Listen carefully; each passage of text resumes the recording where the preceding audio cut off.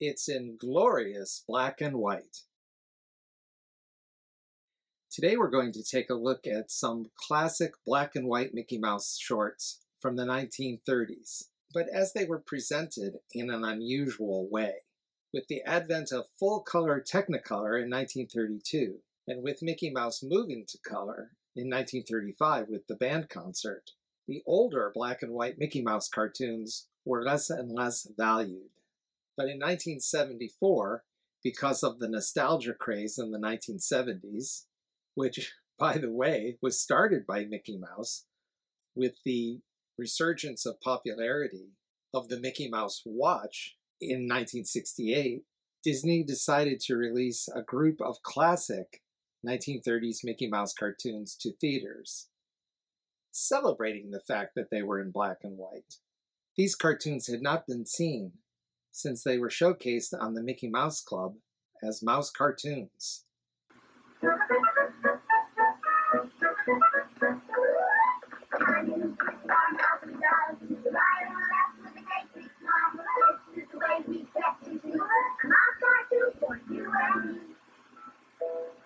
Today's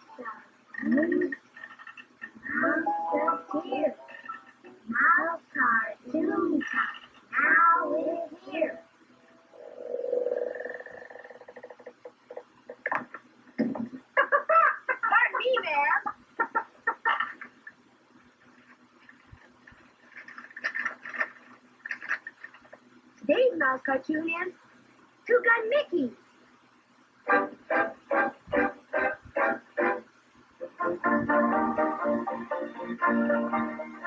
That means they hadn't been seen since the 1960s, when the Mickey Mouse Club was in syndication for the first time.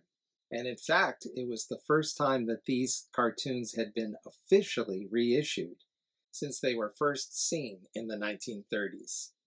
Now I have here this photocopy of a Disney News Bulletin, a press release, announcing the reissue of these classic cartoons. It's entitled, meaning Disney's distribution company, Buena Vista to re-release vintage Mickey Mouse shorts. A selected number of Mickey shorts from the Walt Disney Library of the early 1930s are being offered for the first time to theaters on a one-at-a-time basis in the United States and Canada. This was pretty big news and a big push for Disney. It was even announced in the Disney News magazine. Although among the titles to be released in this announcement was Mickey's Melodrama. And in fact, as you can see, it shows the poster. Apparently, wiser heads prevailed. And this particular cartoon about Mickey and his friends staging a production of Uncle Tom's Cabin was not among the final titles to be reissued. The release of these cartoons was aimed at youth and college audiences, and the cartoons were marketed as being fun, nostalgic, and campy. These cartoons were Mickey's Good Deed, Shanghaied, The Mail Pilot, Two Gun Mickey, Building a Building, and Touchdown Mickey with Mickey's Good Deed actually being released in December of 1973 because of its Christmas theme.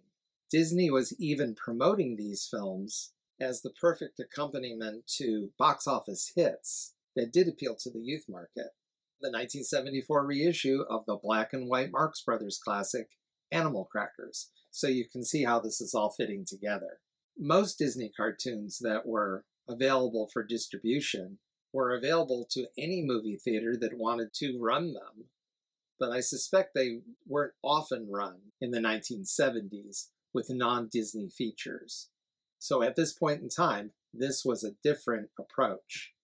Disney cartoons had been officially reissued since 1947, starting with Hawaiian Holiday.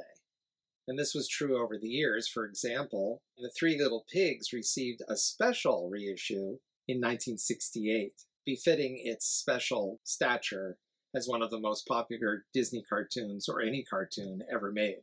But this special 1974 nostalgic program was the first reissue for these black and white cartoons. Disney even made available a press kit, which you can see here, to promote this program. And you can see it says presenting the original, uncut, all talking, all singing, sound cartoons from the flirty 30s, rare vintage films starring me, Mickey Mouse, in vivid black and white. And inside was this background sheet. Nostalgia movement brings back original Mickey Mouse cartoons. There were also some ads inside, sort of an ad pad that I don't have. It was not included in this copy of the press kit that I own, but you can see it here, and it has ads that could be run in the newspaper, as well as a synopsis for every cartoon. I'm glad this sheet shows the posters, and according to Disney, these specially issued one sheets based on the originals from the 1930s were instant collector's items. So all of the posters had some fun copy, like the poster for Two Gun Mickey. It says he's the goodest of the good guys. And in addition to being rated G, the poster says it's in shocking black and white. the poster for Touchdown Mickey says, Yesterday's hero, today's superstar, Walt Disney's the one and only Mickey Mouse. The poster for the mail pilot says the uncut, uncensored sound cartoon. In a great example of showmanship, each of these cartoons was given a specially created animated opening to partially celebrate the fact that they're in black and white and to explain that they're in black and white. Because I'm sure audiences in the 1970s were surprised to see a Disney cartoon in black and white. And this animated opening was very much like the cover of this press kit.